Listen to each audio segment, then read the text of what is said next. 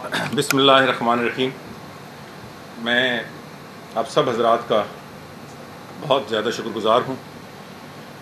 ये काफ़ी दिनों से बल्कि काफ़ी हफ्तों से आज का प्रोग्राम हमारे शेड्यूल में था, मगर उसका अफ्ताह नहीं हो पा रहा था। सो आज शॉर्ट नोटिस पे आप सबको तकलीफ़ देना पड़ी हमेशा की तरह। इस्लामाबाद और पिंडी ख़ास तौर पर इस्लामाबाद के मीडिया का मैं बहुत ज़्यादा मशहूर हूँ कि शॉर्ट नोटिस पे आप हमेशा की तरह तशीफ़ लाए। मैं माजत भी हूँ। मेरे लिए ये नापसंदीदा जगह है प्रेस कॉन्फ्रेंस की। मेरा ख्याल है कि बहुत घुटन होती है। सो नीचे सैन में हमेशा अच्छे माहौल में होती है। मैं उम्मीद करता हूँ कि आइंदा प्रेस कॉन्फ्रेंस वहाँ हुआ करेगी। जैसे कि बाजवा साहब कह चुके हैं, आज का जो अफ्ताह है सिस्टम है पासपोर्ट्स का। और ये पहले मरहले में हमारे जो बैरून मुल्क पाकिस्तानी, हमारी बहन और भाई, बच्चे जो रहाइश पजीर हैं, उनके लिए।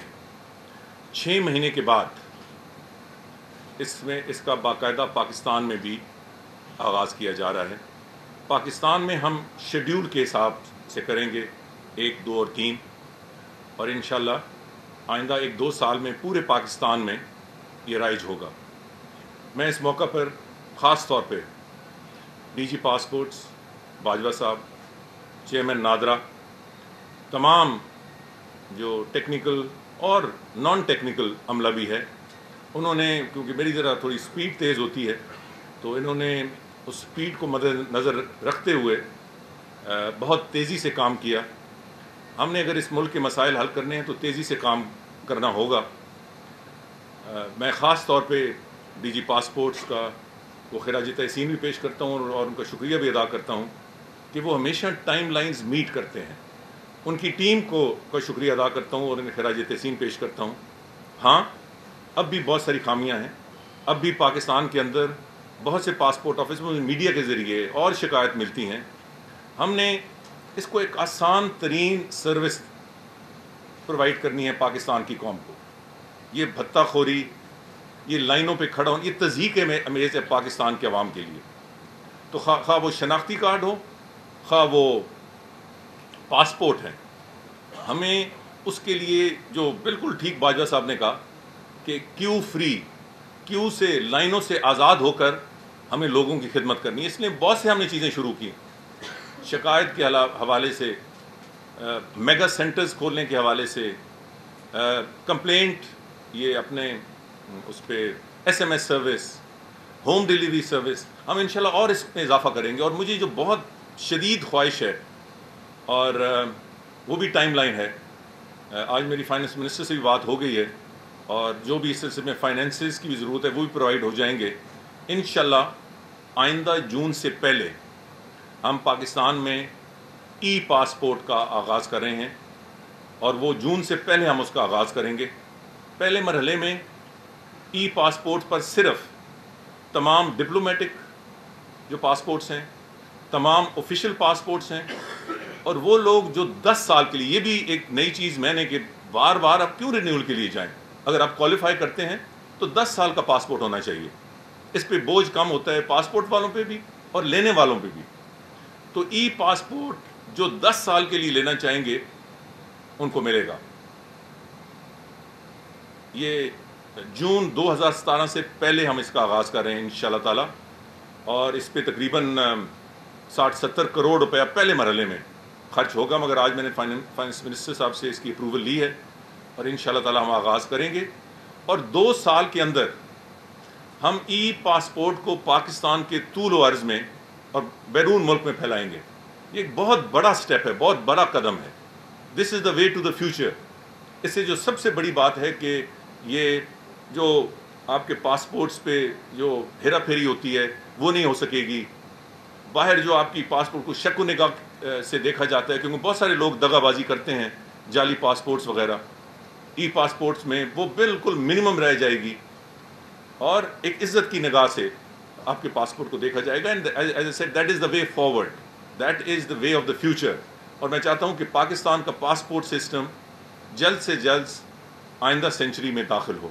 तो मुझे खुशी है कि हम ये चीज़ें कर रहे हैं, जहाँ बहुत सी गंदगी बिखरी हो, जहाँ मुश्किल ही मुश्किल और मसाइल ही मसाइल हों, वहाँ जो बहुत सी, बहुत सा काम पासपोर्ट वालों ने किया। देखें अड़सठ सालों में पाकिस्तान में कोई पचानवे पासपोर्ट ऑफ़िस थे। अब मज़ीद एक साल में हमने बहत्तर नए पासपोर्ट ऑफ़िस बनाने का फैसला किया और इंशाल्लाह फरवरी में मुकम्मल हो जाएगा। ये पाकिस्तान में एक एक, एक नई रविश हम कायम कर रहे हैं कि हर ज़िला में एक पासपोर्ट ऑफ़िस। इससे आगे उसकी सर्विस में बेहतरी और बहुत सारी चीज़ें। इन ताला आप देखेंगे कि इसमें बेहतरी आएगी। सी एन आई सी में हर हफ़्ते मीटिंग कर करता हूँ यहाँ नादरा में बैठ के। मैं मैं मुतमिन नहीं हूँ। इनकी पब्लिक डीलिंग से मैं मुतमिन नहीं हूँ। जो करप्शन होती है इन ताला हम इसको सफ़ाई करेंगे। एक बहुत बड़ी सफ़ाई हो रही है जाली शनाख्ती कार्डों की मगर वो जारी रहेगी। एक बहुत बड़ा आ, मेरा ख्याल स्टेप लिया गया है मगर उसको इन हम जारी और सारी रखेंगे। तो मुझे खुशी है आज इस अफ्ताह से। इससे इस वक्त तो जो बैरून मुल्क पाकिस्तानी है और उनके लिए एक बहुत बड़ा फ़ायदा है। कि वो घर बैठे अपने पासपोर्ट्स रिन्यू कर करा सकेंगे। छः महीने बाद पाकिस्तान के अंदर हम इसका आगाज़ करें उसमें डबल फ़ायदा होगा। एक तो जिन लोगों ने बनवाने हैं, उनके लिए फ़ायदा होगा। एक खुद पासपोर्ट ऑफ़िस पे जो रश है, उसकी बहुत बड़ी कमी हो जाएगी, क्योंकि रिन्यूअल वाले फिर लाइनों में नहीं खड़े होंगे। फिर नए जो बनाने वाले हैं, वो काफ़ी कम होते हैं। उनको हम इंशाल्लाह हैंडल करेंगे और उनके लिए हालात और एनवायरनमेंट और बेहतर करेंगे। तो मुझे ये खुशी की बात है मैं, मुझे इतमान भी है, मगर अफसोस हमेशा होता है कि मैं जहाँ भी कोई नई चीज़, नादरा की पासपोर्ट वालों की या कोई और, वो सता करता हूँ, वो उस पर फोकस मीडिया का बड़ा कम रहता है, और फिर जो सवाल जवाब जो मुझे करना होता है, अब अब अगर मुझे मुझे चाहिए तो ये कि मैं शुक्रिया करके तो उठ जाऊँ, मगर रास्ते में आप सब खड़े हैं तो मुझे नहीं लगता कि मैं आसानी से जा पाऊँगा। सो नहीं नहीं नहीं नहीं नहीं नहीं, कुछ कुछ कुछ पत्ते तो मेरे हाथ में भी हैं ना। मैं एक एक पैरे में से कमिटमेंट करें कि ये जो अफ्ताह है और ये बहुत सारे पाकिस्तानियों के फ़ायदे में है, इस, इसको आप नज़रअंदाज अपनी मीडिया रिपोर्ट्स में नहीं करें। ये लाइव लाइव की मैं बात नहीं कर रहा हूँ, मैं अखबारों की बात कर रहा हूँ। भाई साहब, ये सवाल होना था, मुझे शक और अंदाज़ा था। मैं पहले तो ये कहना चाहता हूँ कि जो कुछ है वो सामने आ जाना चाहिए। कम से कम मुझे तो कोई एतराज़ नहीं। मैंने सी सी पी एन ई और ए पी एन एस के जो सीनियर अहदेदारान हैं कल उनको दावत दी है। इस्लामाबाद में वज़ीर इंफॉर्मेशन के ज़रिए। सो इस सिलसिले में तफसील से बात तो उनके साथ होगी। और जो भी हुकूमत का नुक़ नज़र है, जो इस वक्त बाई डिफ़ॉल्ट जा रहा है, मैं उनके सामने रखूँगा। आपने मेरे मुँह में अल्फाज डाल दिए हैं। सिर्फ़ किसी जर्नलिस्ट के हवाले से नहीं, आपको कहना चाहिए था कि किसी पाकिस्तानी को ई सी एल पे डालने से पहले उसकी मुकम्मल तहकीकात की जाएगी। ये बिल्कुल, ये, जहाँ तक इस केस का तलक है, मैं फिर दोहराए देता हूँ। जैसे मैंने कहा कि इस पर तफसीली बात तो चूँकि आपके नुमाइंदा तंजीमें को मैंने दावत दी है तो उनसे बात होगी और उसके बाद जो वो तशीर करें। मगर एक मीटिंग हुई, हाई सिक्योरिटी मीटिंग, जिसमें और इश्यूज़ भी जेर बायस आए। उस पर यह इशू भी जेर बायस आया। और वहाँ ये फैसला हुआ कि ये एक बहुत बड़ा सिक्योरिटी हमारे जो नेशनल सिक्योरिटी का पैराडाइम है, उसको हिट करने की कोशिश की गई है। इसलिए इस पर इंक्वायरी होनी चाहिए, अव्वल ये कि एक मीटिंग का हवाला दिया गया है और उस मीटिंग के हवाले से ये खबर लीक की गई है। और ये खबर इनएक्यूरेट है। तो ये इनएक्यूरेट खबर किसने लीक की? दूसरा, वो जर्नलिस्ट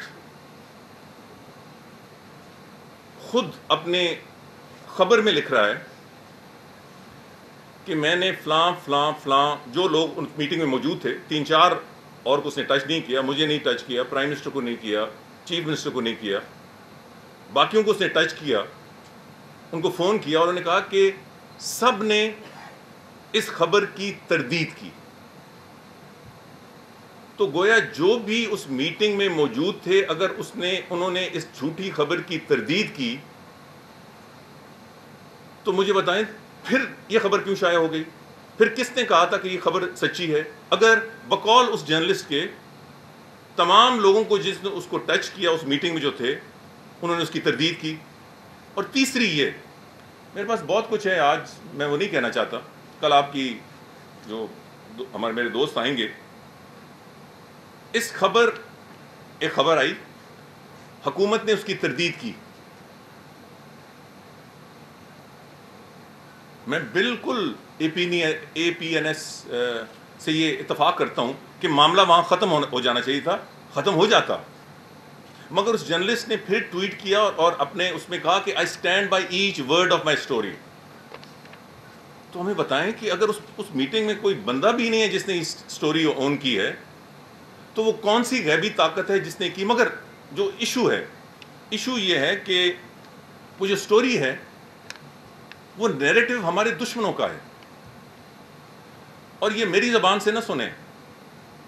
ये हिंदुस्तान हिंदुस्तान टाइम्स पढ़ें इंडियन एक्सप्रेस पढ़ें द हिंदू पढ़ें टाइम्स ऑफ़ इंडिया पढ़ें ऑल इंडियन न्यूज़ चैनल्स देखें उसके बाद रिकॉर्ड निकालें अगर नहीं देखे अभी तक। और वो एक रिटायर्ड लेफ्टिनेंट जनरल है इंडिया का उसको से कमेंट सुने। उनके उन, उन्होंने क्या कहा है?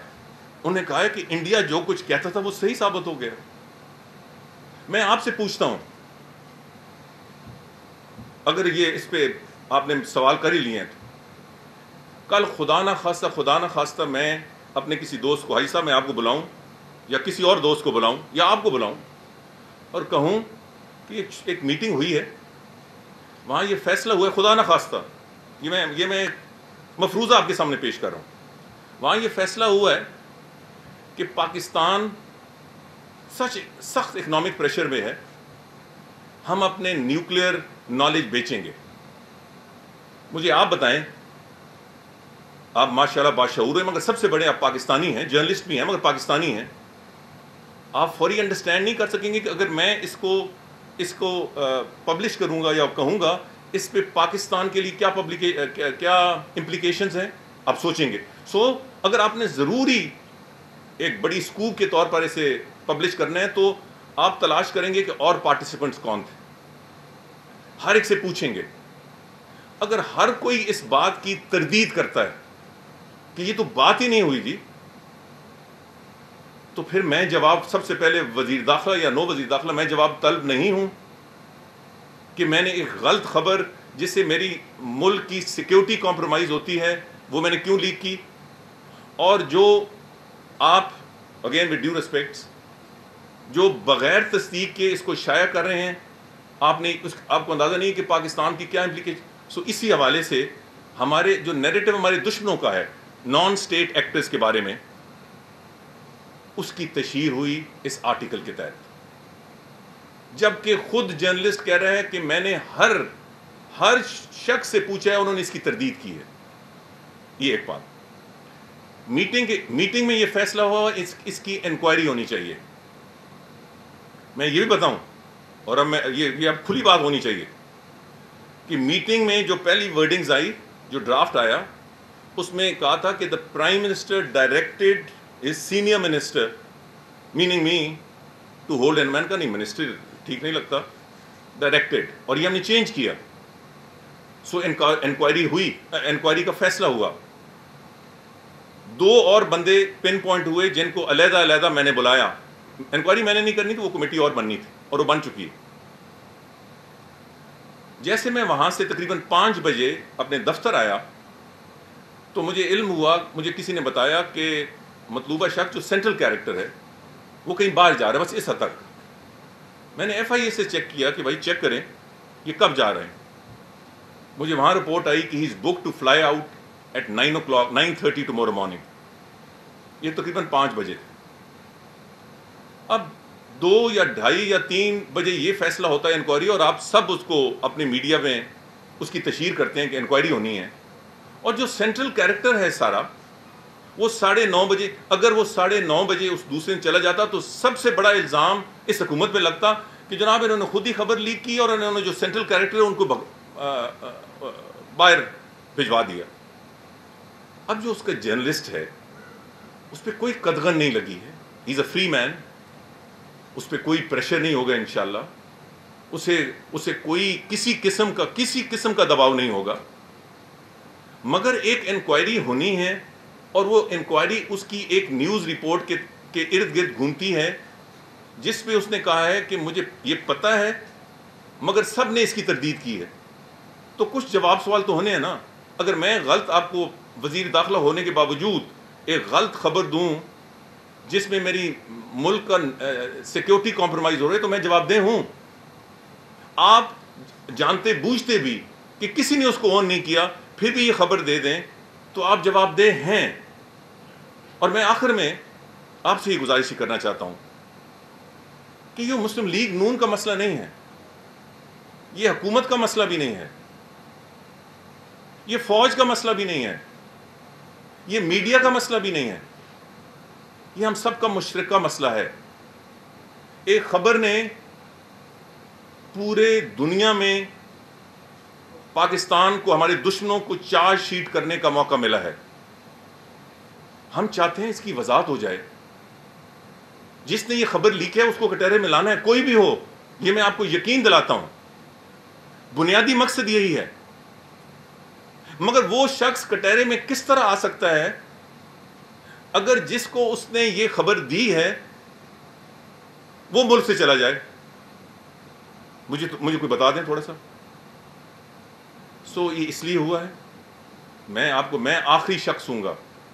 मैं मैं आपको यकीन दिलाता हूँ जो जो कोई इक्का दुक्का कोई जर्नलिस्ट को मिस यूज़ करता है मेरे खिलाफ या एक अपनी ज़ाती मैं मैं सामने आपकी बात करता हूँ।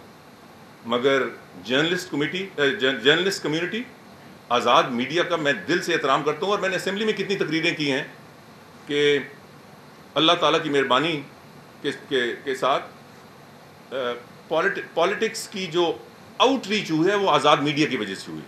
आप में से अक्सर यहाँ पिंडी इस्लामाबाद के हैं मैं मेरे साथी दोस्त हैं और मैं आपका हमेशा मशहूर रहता हूँ और हमेशा ज़िक्र करता हूँ।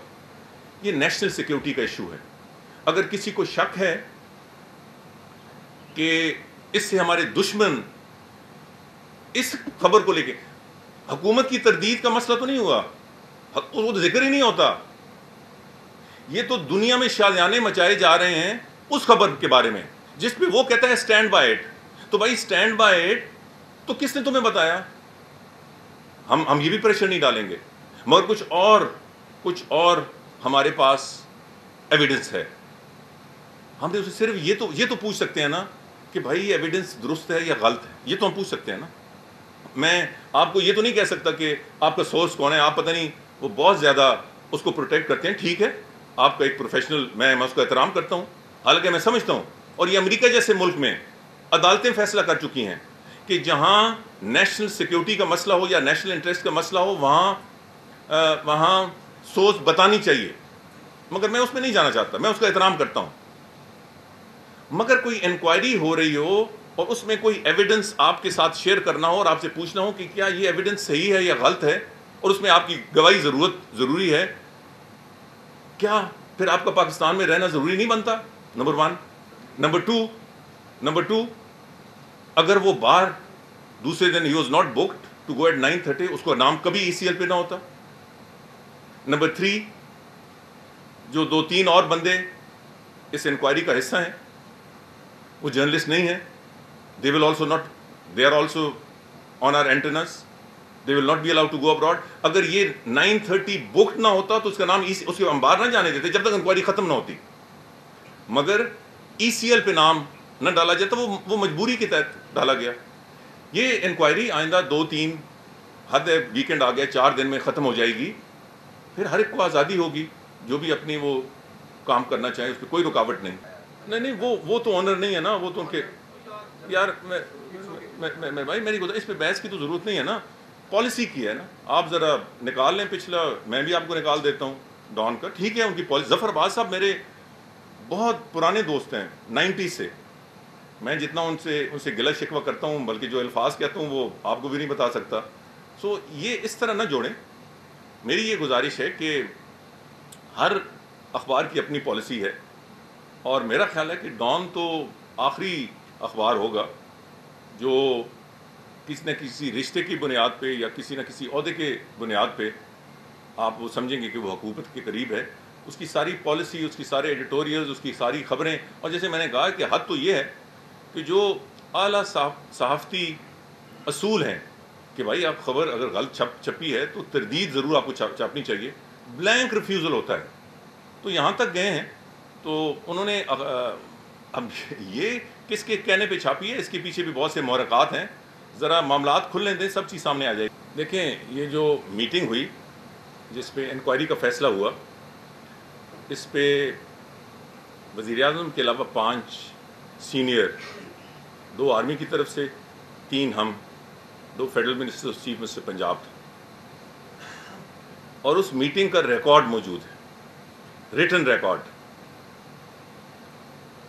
अब मैं किसी ऐसे अस्करी ज़राए को नहीं मानता जो छुप कर आपसे रबता करे। अगर कोई अस्करी ज़राए वाकई है और इस पर बयान देना चाहता है तो वो अपना नाम वो आईएसपीआर के ज़रिए या अपना नाम लेके बयान दे, मैं उसका जवाब दूँगा। जी, आज तफसील से बात हुई। उन्होंने मुझे कुछ इन्फॉर्मेशन दी बाबा और सरकारी तौर पे। वो ख़बर आप तक आइंदा आधा घंटा घंटे में आप तक पहुँच जाएगी। आ, मैंने उस खबर पर तशवीश का इजहार किया था और वो खबर पब्लिक हो जाए तो फिर मैं मज़ीद उस पर अपनी तशवीश का इजहार करूँगा। भाई एक बात तो ख़त्म होने देने जी सबको मौका मिलेगा एक मिनट। इजहार करूँगा। हाँ तमाम केसेस पे डिस्कशन हुई। मैंने ये भी कहा कि पाकिस्तान और बरतानिया के तल्लक बहुत अच्छे हैं और बहुत वसी हैं। हम क्यों एक, एक, एक ऐसे शख्स के हवाले से एक बिल्कुल बैक स्ट्रीट में फंस गए हैं या एक डेड एंड पे फंस गए हैं? हमें से निकला है। हमें कानून के मुताबिक और मैंने ये भी कहा कि जो पाकिस्तान के अवाम जो इस पर बड़ी गहरी नज़र रख रहे हैं, ये सिर्फ़ लीगल मसला नहीं है। पाकिस्तान के अवाम देख रहे हैं कि बरतानिया का कानून जिस पे दुनिया अतमाद करती है, वो इन सारे केसेस को किस तरह देख रहा है? तो सारे केसेस पे आज डिस्कशन हुई। मनी लॉन्ड्रिंग का भी मर्डर केस भी और ख़ास तौर पर जो सबसे ज़्यादा बात हुई, वो इंसाइटमेंट टू वायलेंस है। मैं इस वक्त इस पोजीशन में नहीं हूँ कि उनके बारे में इजहार ख्याल कर सकूँ, मगर हम इन इन केसेस को परस्यू करते रहेंगे। जी शाह साहब। ये बड़ा अच्छा सवाल है, इस पर मैं बहुत ज़्यादा फोकस कर रहा हूँ। अब मैं चूँकि आपने सवाल कर दिया है इसमें कंटेनर्स के तो डेफिनेटली चीज़ें निकल रही हैं, मगर इसके बैकग्राउंड पे पुलिस बहुत तेज़ी से काम कर रही है। हमारी इंटेलिजेंस एजेंसीज भी काम कर रही हैं। मुझे इसमें और ज़्यादा दिलचस्पी बतौर वजी दाखिला इसलिए है कि आपको याद होगा कि अल्ताफ़ हुसैन साहब के घर से जो पैसों के अलावा और कागजात और डॉक्यूमेंट्स निकले उनमें कुछ डॉक्यूमेंट्स हथियारों के बारे में थे। जी? इंग्लैंड से। एक शॉपिंग लिस्ट थी। जिसमें कीमतें भी कीमतें भी लिखी हुई थी। मैंने वो मंगा लिया। ये ये डॉक्यूमेंट वो थी जो मेट्रोपॉलिटन पुलिस को किसी ने दी। और वो उसी उसी किसी शख्स के ज़रिए मुझ तक पहुँची। तो मेरा ख्याल है कि इन हथियारों का यहाँ डिस्कवर होना, दरियाफ्त होना या छापे के ज़रिए जिस तरीके से वो छुपाई गई थी और उस लिस्ट का कोई ना कोई कॉमन फैक्टर है। और मेरे नज़दीक ये मैं ये मैं अपने एक पर्सनल व्यू दे रहा हूँ कि कॉमन फैक्टर क्या? अल्ताफ़ हुसैन और उसकी टीम की इन्फेचुएशन विद आर्म्स और फोकस ऑन आर्म्स और नॉर्मल आर्म्स नहीं। सो हम अभी तफ्तीश जारी है, ये कबल कबल वक्त होगा कि मैं उनको आपस में जोड़ दूँ। मगर कम अज़ कम ये ज़रूर है कि वो लिस्ट उनके घर से बाकायदा डॉक्यूमेंटेड निकली। और ये जो सारे हथियार हैं, ये इनके नाइन ज़ीरो के बिल्कुल साथ निकले। अब कबल वक्त बहुत सारी बातें करना, अंदाजे भी लगाना गलत होगा। मेरा ख्याल है कि थोड़ी सी तफ्तीश मुकम्मल होने दें तो इन मैं ज़रूर आप सबको अतमाद मिलूँगी